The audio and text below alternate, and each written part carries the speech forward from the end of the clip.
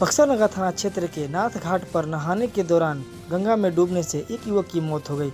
इसकी सूचना परिजनों के मिली तो परिजनों में कोहराम मच गया। काफ़ी मशक्कत के बाद निजी गोताखोरों ने युवक का शव गंगा से निकाला।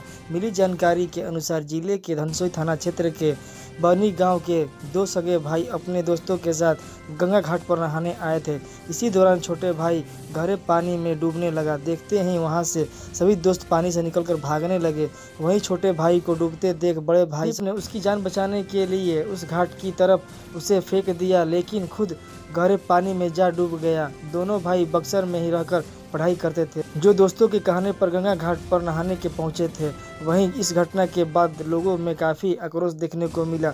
उपस्थित लोगों ने पुलिस प्रशासन के मुर्दाबाद के नारे भी लगाए। वहीं घटना को देखते हुए एसडीएम ने कहा कि ढाई बजे की युवक की डूबने से मौत हुई थी, लेकिन परिजन सवा तीन बजे फ़ोन किए। इसी बीच गोताखोरों को लाकर यहाँ से शव निकाला गया और राजपुर के अंचल अधिकारी को तत्कालीन मुआवजे की राशि भुगतान करने के आदेश भी दिया गया। राजपुर का बच्चा है बन्नी का और वो नहाने आया था। करीब ढाई बजे के आसपास डूबा था। लोग अपना लोकली खोजने की कोशिश कर रहे थे, लेकिन फिर हम लोगों को सूचित किया तीन, सवा तीन बजे। तो हम लोगों ने गोताखोर बुलाया और उसको बच्चे को साढ़े चार बजे अंतिम रूप से निकाला जा सका। मुआवजा भी दिया। और मुआवजा दिया जा रहा है। अभी राजपुर अंचल अधिकारी वहाँ से लेके आ रहे हैं चेक। उसको मुआवजा भी दे दिया जाएगा।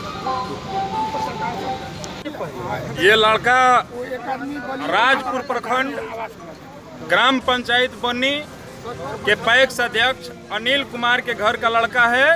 और ये लड़का नाथ बाबा मंदिर के पास आया था। स्नान करने शायद लोग बता रहे हैं, वहाँ पर पानी में नहाते समय और गंगा की पानी के चक्कों से वो डूब गया।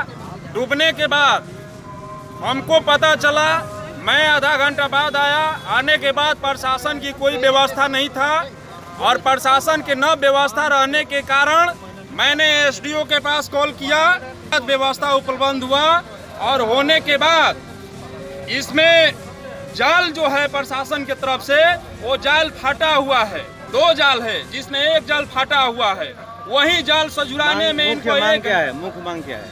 मुख्य मांग है कि इस घाट पर इसी घाट पर नहीं बक्सर का मुख्य दो घाट है नाथ बाबा घाट और अमरेखा घाट जहाँ 24 घंटा गुतखोर का व्यवस्था रहना चाहिए। मेरा नाम राजाराम यादव पड़ेगा, पूर्व छात्र नेता बक्सर। मैं डॉक्टर मनोज कुमार यादव, प्रदेश महासचिव लोकतांत्रिक जनता दल बिहार की तरफ़ से पूरे बिहार वासियों को दशहरा, दीपावली पर हार्दिक शुभकामना है। साथ ही बक्सर जिला के हर नागरिकों को भी मुबारकबाद है और सौहार्द वातावरण में, दुर्गा पूजा में दीपावली में अमन चैन स्थापित करने के लिए मैं अपील करता हूँ। दशहरा एवं दीपावली के शुभ अवसर पर मेरे तरफ़ से लोकतांत्रिक जनता दल के व्यवसायिक संघ के अध्यक्ष की तरफ़ से, बनियाल सिंह यादव की तरफ़ से जिला वासियों को शुभकामनाएँ एवं स्वागत।